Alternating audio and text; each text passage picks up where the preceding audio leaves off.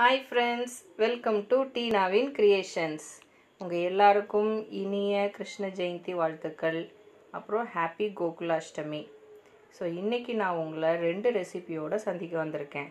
ஒன்று ஸ்வீட்டு இன்னொன்று காரம். ஸ்வீட் வந்து பச்சைப்பயிறு வச்சு லட்டு இன்னொன்று முறுக்கு. ஸோ பச்சை பயிறு ரொம்ப ஹெல்த்தியானது பசங்க எல்லாருக்கும் சாப்பிட்லாம்.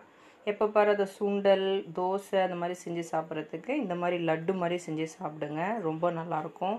முறுக்கும் ரொம்ப ஈஸியாக உளுத்தம்பருப்பு இல்லாமல் எப்படி முறுக்கு செய்யலான்னு சொல்லியிருக்கேன்.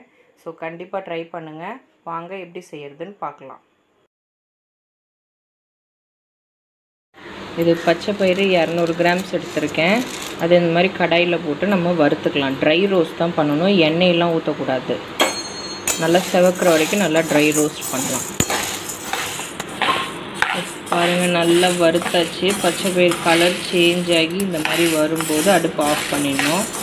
உங்களுக்கு இன்னும் தெரியணும்னா ஒரு ரெண்டு கடலை எடுத்து இப்படி கீழே வச்சுட்டு இதை எப்படி தட்டினீங்கன்னா பாருங்கள் உடையுது. இந்த மாதிரி உடஞ்சிடுச்சுன்னா நல்லா வறுபட்டுருக்குன்னு இருக்கும் ஸோ நீங்கள் அடுப்பு ஆஃப் பண்ணிடலாம்.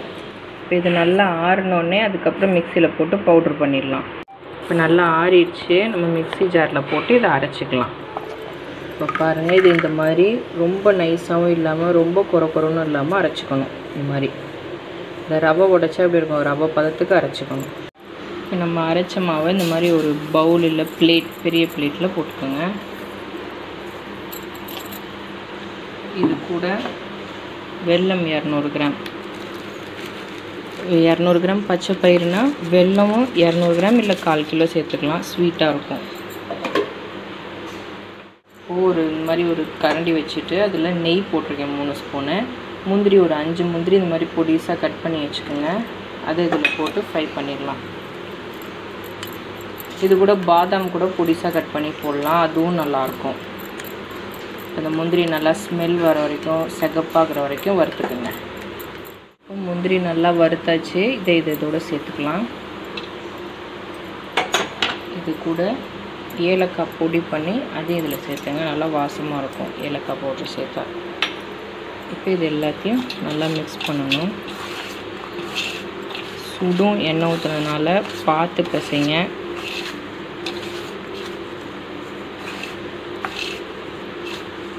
நல்லா இந்த மாதிரி மிக்ஸ் பண்ணிவிடுங்க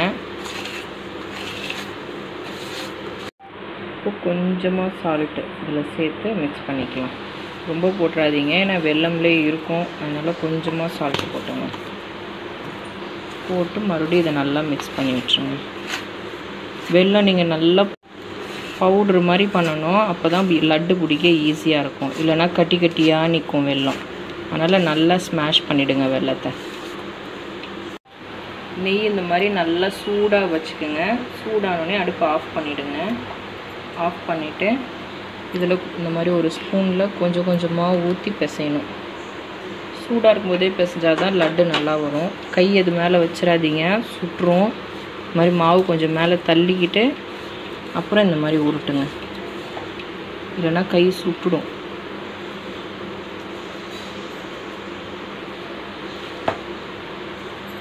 நல்லா சூடாக ஊற்றுனீங்கன்னா தான் லட்டு பிடிக்க வரும். இல்லைன்னா உடஞ்சிரும். இந்த மாதிரி நெய் ஊற்றி ஊற்றி லட்டு பிடிக்கணும். பாருங்கள் இந்த மாதிரி உருண்டையாக வந்துடும் இந்த மாதிரி இப்படி அடுக்கி வச்சுக்கலாம். அதே மாதிரி சுட சுட நெய் ஊற்றி எல்லாத்தையும் பிசைஞ்சு உருட்டை உருட்டி வைக்கணும். அடுப்பில் ஒரு கடாய் வச்சுக்கோங்க. அதில் ஐம்பது கிராம் பாசிப்பருப்பு. அதாவது சிறுபருப்பு சொல்லுவோம் இல்லையா? அதை ஐம்பது கிராம் போட்டுட்டு செவக்காமல் லைட்டாக அப்படி ஃப்ரை பண்ணுங்கள் ரொம்ப செவந்துடக்கூடாது ஸோ லைட்டாக இப்படி ஃப்ரை பண்ணிவிடுங்க ஸ்டவ்வை மீடியம் ஃப்ளேம்லேயே வச்சு ஃப்ரை பண்ணுங்கள் இல்லைன்னா அப்படியே ரெட் கலரில் மாறிடும். சிவப்பாயிடும் ஸோ அதனால் ஸ்டவ்வை மீடியம் ஃப்ளேம்லேயே வச்சு இந்த மாதிரி ஃப்ரை பண்ணிடுங்க. பாருங்கள் பருப்பு நல்லா சூடாக இருக்குது இந்த டைமில் இப்போ நம்ம நூறு கிராம் உடச்சக்கல்ல சேர்த்துக்கலாம். நம்ம இதில் உடச்சக்கல்ல சேர்த்தோன்னே அடுப்பு ஆஃப் பண்ணிடணும். ஏன்னா இது ஃப்ரை ஆக வேணாம் அது ஏற்கனவே ஃப்ரை ஆகி தான் இருக்குது சும்மா லைட்டாக சூடு பட்டால் போதும். ஸோ அடுப்பு ஆஃப் பண்ணிவிட்டு இந்த மாதிரி கிளறி விட்டுருங்க. இப்போ இது நல்லா ஆறட்டும். ஆறினோடனே மிக்சியில் போட்டு பவுடர் ஆக்கிடலாம். நான் இந்த கப்பால் மூணு கப் அரிசி மாவு இதில் போட்டிருக்கேன். இது லைட்டாக வறுத்து எடுத்துக்கலாம். இது பச்சரிசி மாவு தான். லைட்டாக வறுத்தது அப்புறம் எடுத்துடலாம். இப்போ நாம் மாவு நல்லா வறுத்து எடுத்தாச்சு. இதோட நம்ம அரைச்சி வச்சுருக்கோம் இல்லையா? பச்சை பயிறு போட்டுக்கடல. அதையும் சேர்த்துடலாம். அதையும் சேர்த்துடலாம். அதுக்கப்புறம் உங்களுக்கு எள்ளு கருப்பு வேணால் கருப்பு சேர்த்துங்க இல்லை வெள்ளை வேணாலும் வெள்ளை சேர்க்கலாம். நான் இப்போ கருப்பு எள்ளு சேர்க்க போகிறேன் கருப்பு எள்ளு சேர்த்துட்டேன். அதுக்கப்புறம் வெண்ணெய். ஒரு இந்த மாதிரி நல்லா வெண்ணெய் சேர்த்துக்கணும் கொஞ்சம் ஒரு ஸ்பூன். அப்புறம் பெருங்காயத்தூள். இப்போ இது எல்லாத்தையும் மிக்ஸ் பண்ணணும் நம்ம. ஃபஸ்ட்டு எல்லாத்தையும் மிக்ஸ் பண்ணிவிடுங்க அதுக்கப்புறம் கொஞ்சம் கொஞ்சமாக தண்ணி ஊற்றி செய் பிசையலாம். என்னடா உப்பு சேர்க்கலையேன்னு யோசிக்கிறீங்களா? நான் இந்த தண்ணியிலே உப்பை போட்டு கொதிக்க வச்சுருக்கேன். கொதித்து இப்போ ஆறி இருக்கு மீடியமாக இதை தான் ஊற்றி பிசைய போகிறேன் உங்களுக்கு வேணும்னா தனியாக உப்பு சேர்த்துட்டு கொஞ்சம் கொஞ்சமாக தண்ணி ஊற்றி கூட பிசையலாம். நல்லாயிருக்கும் முறுக்கு அதுவும். பாருங்கள் இது நல்லா மிக்ஸ் ஆயிடுச்சு இதில் இப்போ கொஞ்சம் கொஞ்சமாக தண்ணி ஊற்றி பிசைஞ்சிக்கலாம். ஒரேடியாக ஊற்றிடாதீங்க இந்த மாதிரி கொஞ்சம் கொஞ்சமாக ஊற்றி நம்ம சப்பாத்தி மாவு எப்படி பிசைவோம் அந்த மாதிரி பிசைஞ்சிக்கணும். பாருங்கள் கொஞ்சம் கொஞ்சமாக தண்ணி ஊற்றி மாவு இந்த மாதிரி பிசைஞ்சிடணும். பிசைஞ்சதுக்கப்புறம் முறுக்கு குழலில் போட்டுடணும். இந்த குழலில் போட்டுட்டு உங்களுக்கு என்ன அச்சு வேணுமோ போட்டுக்கலாம். நான் இந்த ஸ்டார் தேன் குழல் அச்சு சொல்லுவாங்க அது போட்டிருக்கேன். இப்போ நம்ம இதில் இந்த மாதிரி ஒரு கரண்டியில் எண்ணெய் தடவிட்டு கரண்டியோ கவரோ எதுலேயோ எண்ணெய் தடவிட்டு இப்படி சுற்ற ஆரம்பிச்சிடுங்க